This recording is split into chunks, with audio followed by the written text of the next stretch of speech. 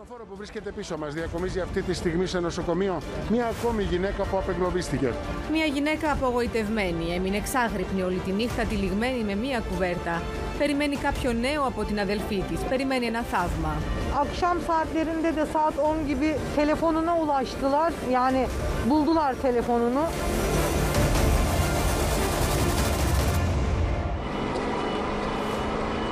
Κάμερα του Μέγκα καταγράφει έναν διασώστη κάτω από τα χαλάσματα. Προσπαθεί να εντοπίσει έναν εγκλωβισμένο. Τα σωστικά συνεργεία έχουν βάλει έναν υδραυλικό γρήγορο. Σηκώσανε την πλάκα και με κίνδυνο της ζωής τους έχουν μπει κάτω στον πρώτο όροφο για να δουν αν κάποιος από αυτούς με τους οποίους επικοινώνησαν λίγη ώρα πριν είναι ακόμη ζωντανός. Şu an e, iki kişiyi çıkarttık.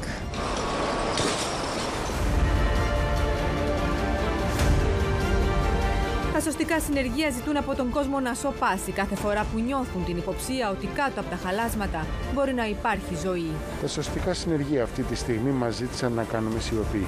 Προσπαθούν να εντοπίσουν και άλλους ζωντανούς που πιθανότατα βρίσκονται σε αυτό το σημείο.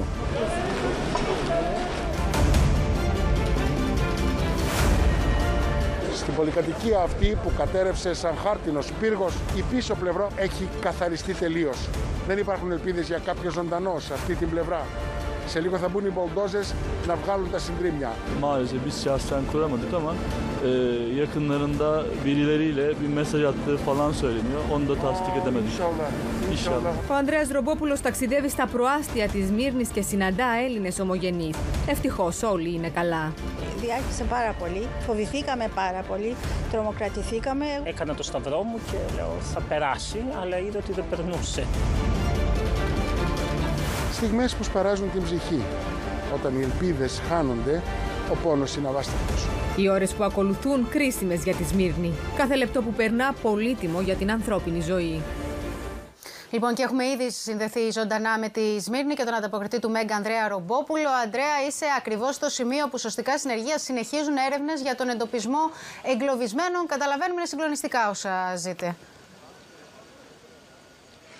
Ε, Κατερίνα, αυτή τη στιγμή έχει φτάσει στο σημείο, γι' αυτό επικρατεί το αδιαχώρητο ο πρόεδρος της Τουρκίας, ο Ταγί Περντογάν, και επιθεωρεί τις εργασίες που κάνουν τα σωστικά συνεργεία. Προσπαθούν να φτάσουν σε δύο αδέλφια, είναι δίδυμα, έχουν εντοπίσει το που βρίσκουν και προσπαθούν να τους βγάλουν σώους από εδώ πέρα. Ο Ταγί Περντογάν που βρίσκεται τώρα πίσω μας σε αυτό το σημείο, αλλά δεν μπορούμε να τον δούμε καθώς έχουν πέσει όλοι απάνω, έκανε δηλώσεις. Ευχαρίστησε όλους τους ηγέτες που τον, που τον τηλεφώνησαν και επικοινώνησαν μαζί του. Ε, αναφέρθηκε και στον κύριο Μητσοτάκη όταν έκανε αυτές τις δηλώσεις μόλις έφτασε στη Σμύρνη είπε ότι οι νεκροί πλέον είναι 37 ότι έχουν διασωθεί 105 άτομα κάτω από τα συντρίμια και πως έχουμε πάνω από 885 τραυματίες. Ευτυχώς στη- στα Στις εντατικές έχουν μειωθεί πάρα πολύ οι τραυματίες. Είναι 8 άτομα μόνο στις εντατικές, ενώ πάνω από 500 ε, νοσηλεύονται σε διάφορα νοσοκομεία. Πρέπει να σου πω όμως ότι γίνονται και θαύματα. 26 ώρες μετά βγήκε κάτω από τα συντρίμια ένας 72χρονο. Είχε πάει στο σούπερ μάρκετ να ψωνίσει και πλακώθηκε από 7 ορόφους. Τον έβγαλαν ζωντανό όπως και μια μητέρα με τα τρία παιδιά της και λίγη ώρα μετά και το τέταρτο παιδί της. Οπότε οι ελπίδες δεν χάνονται όπως και εδώ πέρα και σε άλλα 8 κτίρια συνεχίζονται οι προσπάθειες. Στα υπόλοιπα έχουν εγκαταληφθεί και έχουν μπει οι μπουλντόζες. Βλέπουμε και τις εικόνες από τις διασώσεις. Θα έχουμε και αργότερα αναλυτικό ρεπορτάζ. Ήταν ο Ανδρέας Ρομπόπουλο ζωντανά από τη Σμύρνη. Να σε ευχαριστήσουμε πολύ.